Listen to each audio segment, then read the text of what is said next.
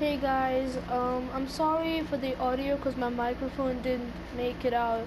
So please enjoy the video and I hope you like me making some punctuation marks. I mean, still watch the video though, it's kind of cool. And I'll see you guys. Wait, watch the video first.